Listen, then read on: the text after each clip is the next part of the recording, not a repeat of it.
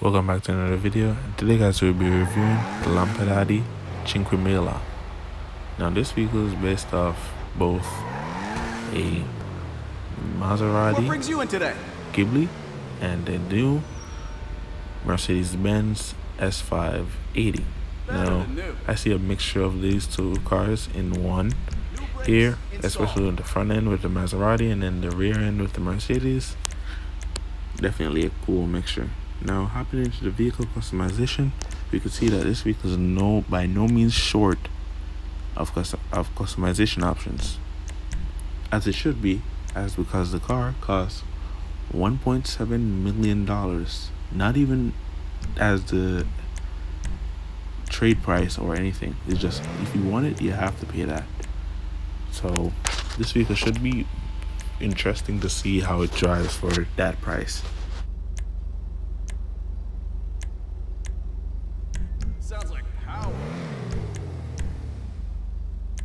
I am gonna go for a more subtle look, so it's gonna look more of a stock vehicle in a sense, because I don't believe that this car should be like loud and like loud and outgoing, because it's not really sporty. It's just fast and luxury based, if you get what I'm saying. So, not necessarily gonna go for the extreme approach here, especially when I especially when I get a new one which because I usually sell these vehicles after I make the content off the vehicle. Like when they come out on the prize ride and the podium wheel, I usually sell the vehicle, recoup some of the money that I invested at first.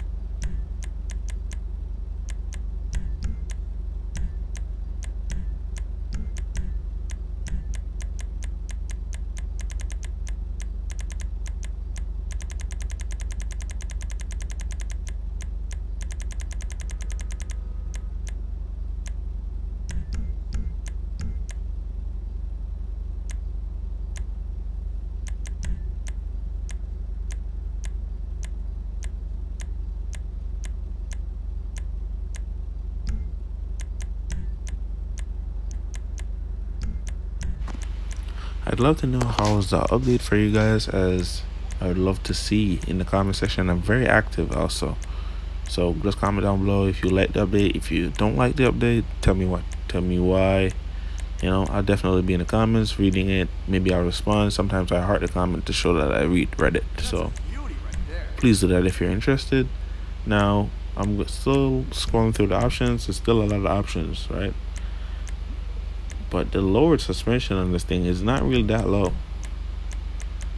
I mean, coming from the Tuners DLC, I can't, guess I'm kind of spoiled.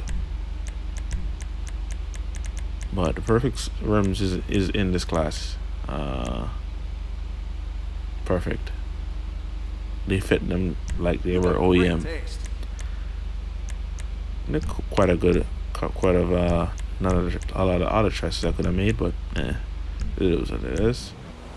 Now moving on to the driving portion of the video. I'm now gonna take the car around the city, see what it can do.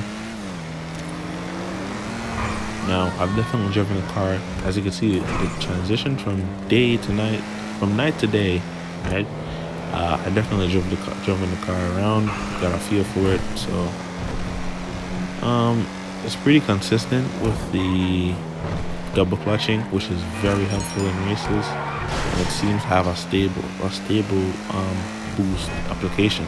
So now, what I mean by that is when I when I hit the double clutch, some cars you have to counter steer when you double clutch. This is not so. It kind of just hooks and goes. So that's a that's a major pro, and the vehicle has a lot of acceleration, especially from lower speeds. But it, I think it thins out when you're uh, hitting like 120, 130 there. The vehicle kind of seems like it's floating at that point. And it definitely corners well. I'm telling you this. with the acceleration, as I was saying before, and the cornering ability of this vehicle, you could definitely um, set a few records or win a few races with this vehicle. Would I buy it now? No, unfortunately not.